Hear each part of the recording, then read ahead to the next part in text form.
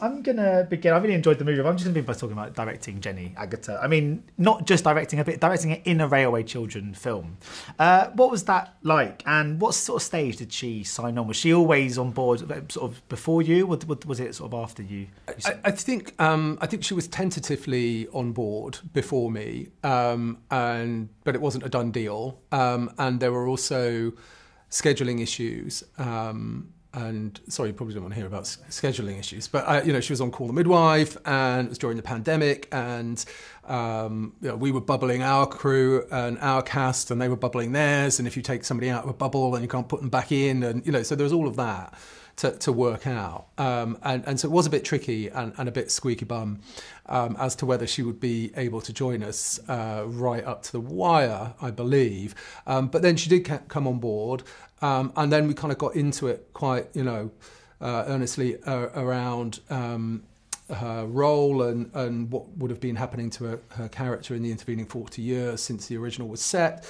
Um, and we worked out quite a lot of stuff that made its way into the script. Mm. I, I, I, imagine as a director with sort of working on this, you wouldn't get a sense what it would have been like to have been a child in this time, because obviously you're trying to direct the, the child actors and sort of give them a kind of some sort of di- direction, obviously about, about, how to feel. But one of your cast members, Tom Courtenay, I mean, I just interviewed him, and he was a child during this time. Was he helpful at all? Did he speak much about his own experiences being a, a seven or eight year old during the, the Second World War, or did you sort of try and tackle this through the kind of source material and through the old films? Well, I, am sure you know Tom might have had those conversations with the kids, um, but um, as it was structured with the shoot, we had you know four weeks uh, with the kids really before any of the adults came on board, any of the adult cast, and I think that was really good just in terms of forming that relationship with the kids, getting their confidence up.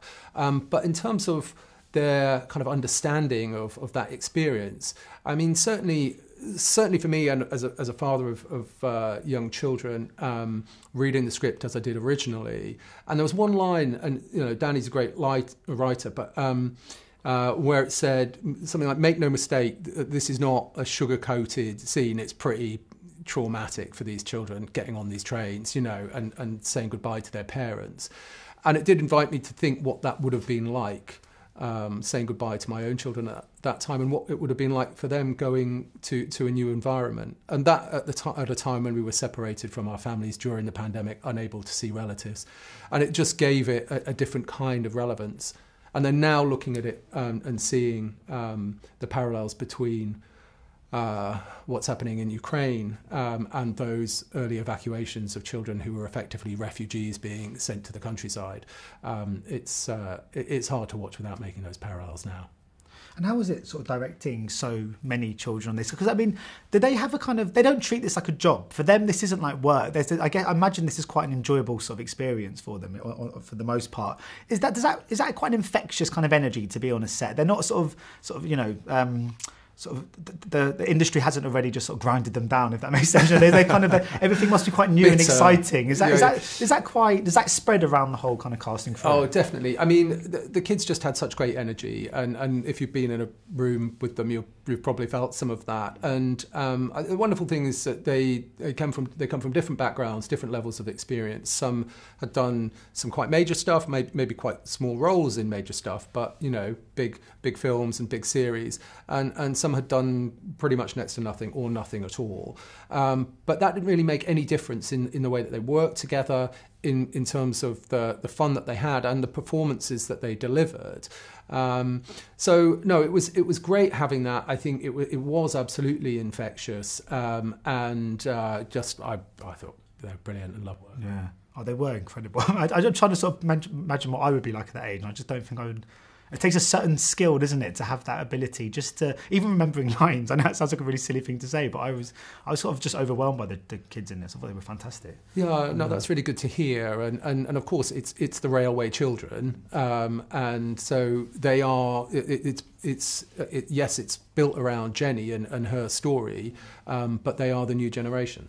I felt there was a real sort of Spielbergian quality to this, especially in that final act when the I'll kids kind of when they sort when they take matters into their own hands. Was was that is it, was that a conscious influence on you? The kind of films of Spielberg, the kind of the films like he sort of ET, or is he just so ingrained into the kind of fabric of storytelling that if you make a movie like this, it almost just comes without even realizing that that kind of influence? Uh, well, it's interesting. I'm not sure. I mean, I, you know, certainly you know, I'm influenced by the, the, the great family films of of my own childhood, um, and I think lots of those they do have in common a, a theme of children taking things into their own hands, um, and children actually taking risks and at times putting themselves in danger, um, sometimes for the right reasons, often for the right reasons, and reasons that the adults around them either don't understand or just aren't on board for because of whatever reason. And um, and you know whether it's Spielberg or you know whether it's whether it's Stand by Me, you know there's there's lots of films that, that kind of have that that theme of of children kind of going on an adventure, going on a journey, um, and with Stand by Me actually along a, a, railway track, and that's a real kind of rites of passage metaphor as well. So. Um, so yeah, I think those sort of journeys are often really quite important, physical journeys in, in, in a film like this. And I was talking to someone outside, and we were talking about how it just strikes a real perfect balance. This in tonally not talking down to children. It's sort of it's, it's, it manages to be a film that can appeal to children without in any way being patronising in its tone. Was that quite a tricky thing to get right? And do you think it's just just learning the right voice in some ways that the movie would have to, to speak to an, an audience like that? Yeah, I mean, I, I hope. I would never make a film, and we wouldn't make a film that, that does patronise children. I mean, I suppose it's a rule. Like, if you're going to make a film that's for children and families, don't make a film that, that patronises children um, because children know when they're being patronised. Um, but also, uh, children are often dealing with or exposed to things around them that are that are quite difficult and and have a, a greater understanding than we might think in, in those situations, but also have a clearer and clean perspective where they can something might be accepted societally, but to children they can see that this is wrong and they're almost ahead of their time in that way. And I think that's the case with the one of the storylines in the film. Mm. What, what, what, talking the storylines? I mean, so when I was a kid, all the movies that would sort of be based around the kind of wartime would be about the uh, us against the enemy. That was the kind of idea. But this was actually about there can be enemies from between allies. You know, was that quite an interesting kind of theme for you to explore and to sort of to give to a sort of generation of kids who might not have seen that explored too often? Because I think there is, yeah, it's usually just fighting against Nazism, but this is actually about the conflicts you can face sort of amongst yourselves, if that makes sense.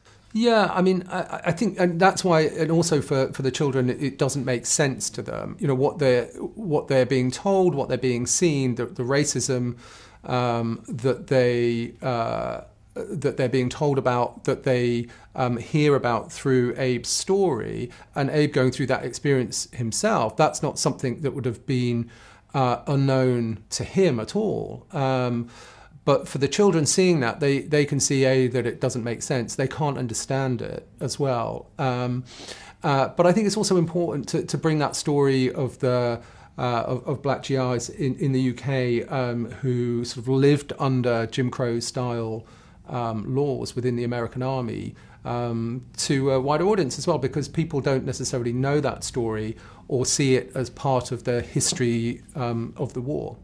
Uh, my final question is because when I was a kid, I watched The Railway Children. Uh, my mum showed it to me, and it was that film that I know it's a bit of a cliche thing to say, but it made me cry so much. It was that kind of tearjerker that I've actually struggled to go back and watch again because it just made me cry so much as a kid. What was your equivalent, or it could have been The Railway Children, but did you have a film that always just made you cry so much that you always it was almost overwhelming in its sadness? oh, that's tricky. I mean, I'm just trying to think. I mean, off the top of my head, I, I don't know about one that that that you know made me kind of um, blub on a you know, repeat basis. But I, I tried with noise. that's the. I mean, obviously ET, uh, and I think that it's it's interesting that that experience, that first memory of crying in a cinema, and actually most of mine are.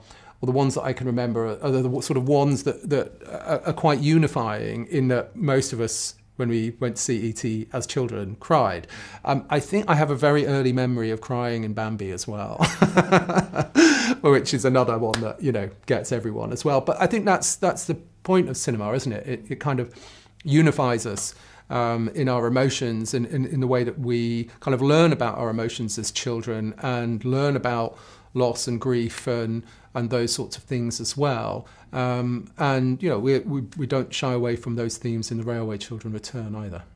Thank you so much for your time, Tim. It's been a pleasure speaking to you. Pleasure. Yeah, thank you. Ladies and gentlemen, you're watching Hey You Guys! Hey, you guys, huh? Hey, you guys. Is that from the Goonies? It is indeed, yeah. Nice.